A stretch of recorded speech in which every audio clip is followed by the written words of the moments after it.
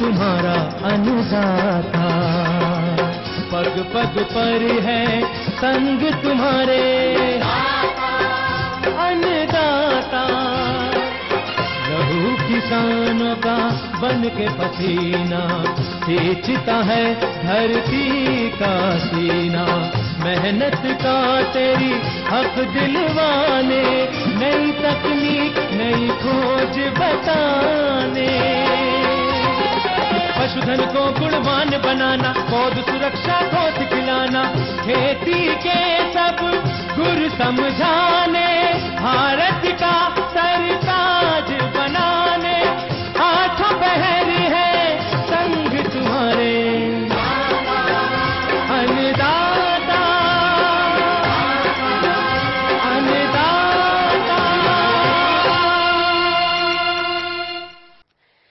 नमस्कार, मैं श्वेता भट्टाचार्य, आप सभी दर्शकों का अन्नदाता कार्यक्रम में स्वागत करती हूँ। हर रोज की तरह कार्यक्रम में हम लेकर आते हैं। खेती बाड़ी से जुड़ी हुई बहुत सी लाभकारी जानकारियाँ। तो चलिए सबसे पहले देखते हैं क्या है विशेष आपके लिए आज के कार्यक्रम में। धान की फ़सल में कीट रोगों का नियंत्रण भाग पाँच।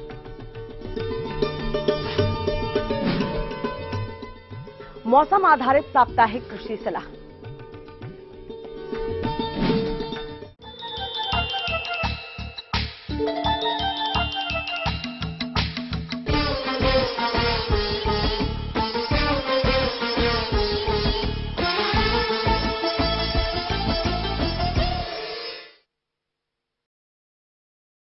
धान की फ़सल में कीट एवं रोगों के प्रबंधन की क्रमवार श्रृंखला में कल आपने धान में लगने वाले कीट और रोगों के नियंत्रण के लिए सस्य विधियों के बारे में जाना।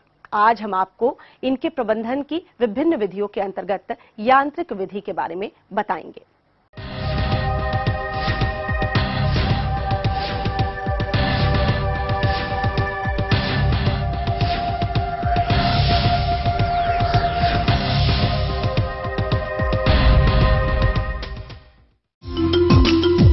पर्यावरण मित्रवत समेकित नाशी जीव प्रबंधन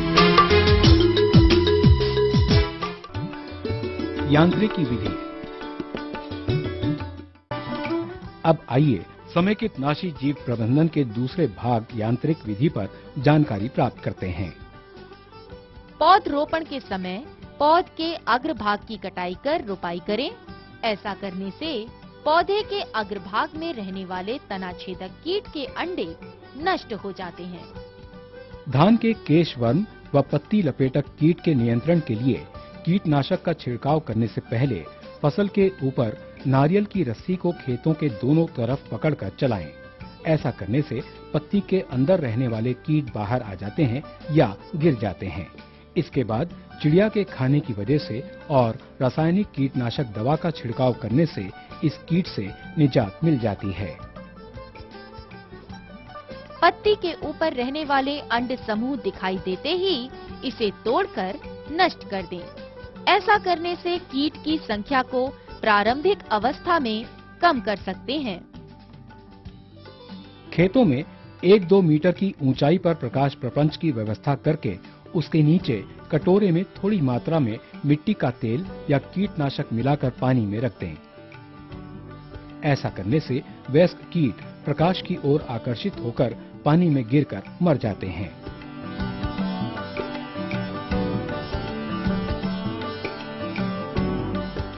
विद्युत की उपलब्धता नहीं होने पर रात्रि में आग जलाने से कीट आग की तरफ़ आकर्षित होकर जलकर मर जाते हैं।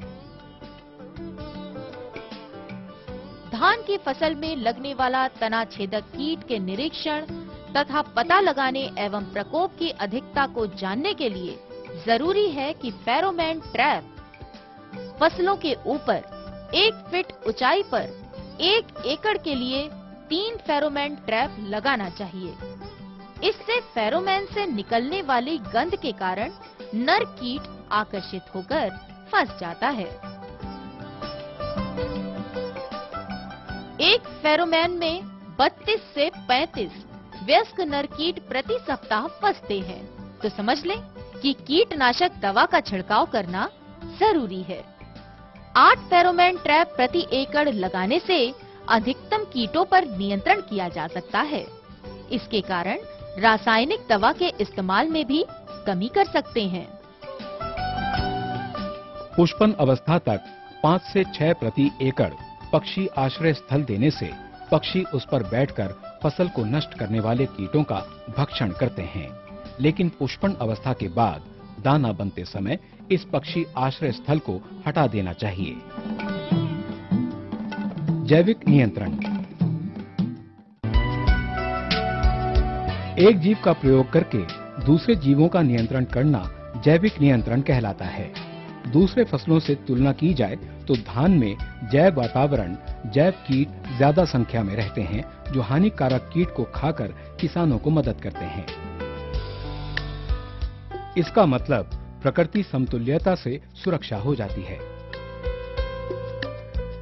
समेकित नाशी जीव प्रबंधन में हमारा उद्देश्य एवं लक्ष्य भी यही है।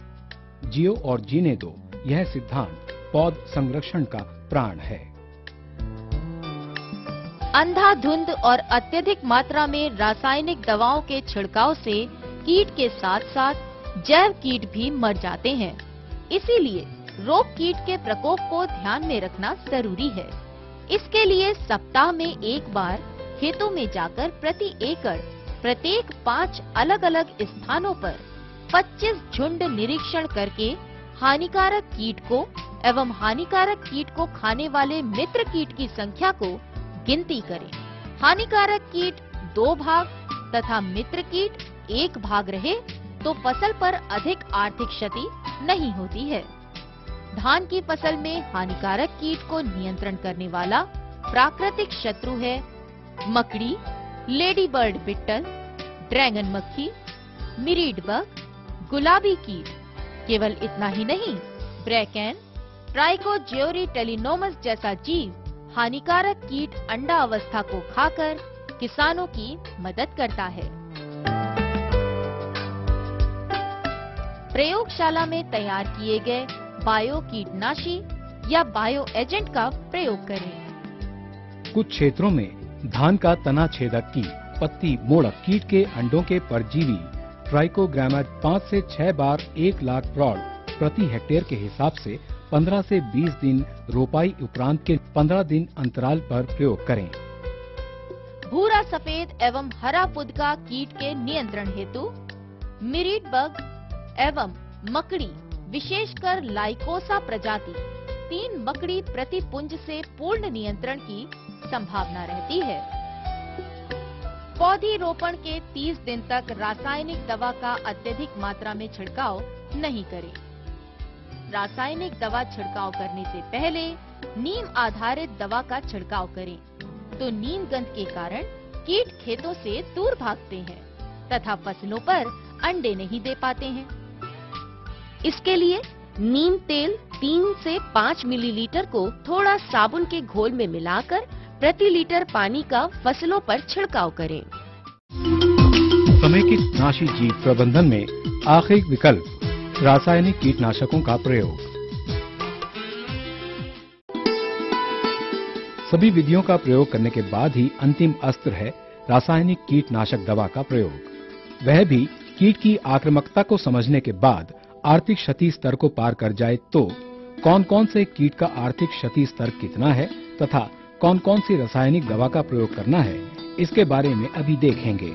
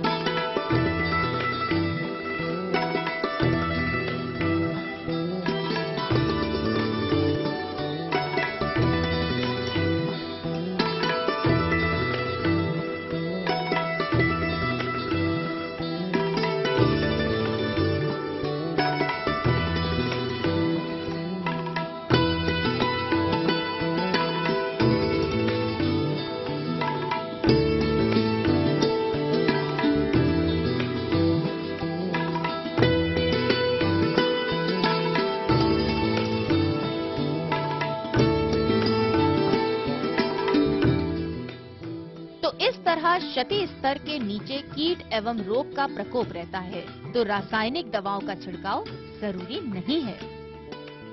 केवल यदि क्षति स्तर से ऊपर कीट रोग आ जाए, तभी रासायनिक दवा का छिड़काव करना है।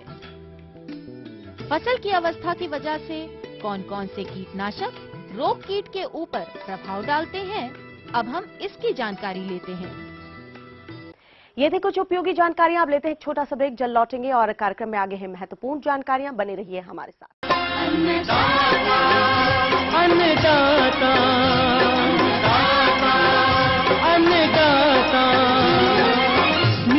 तुम्हारा अन्नदाता पग पग पर है सनाता नमस्कार, मैं श्वेता भट्टाचार्य, आप सभी दर्शकों का अन्नदाता कार्यक्रम में स्वागत करती हूँ। हर रोज की तरह कार्यक्रम में हम लेकर आते हैं खेती बाड़ी से जुड़ी हुई बहुत सी लाभकारी जानकारियाँ। तो चलिए सबसे पहले देखते संग तुम्हारे अन्नदाता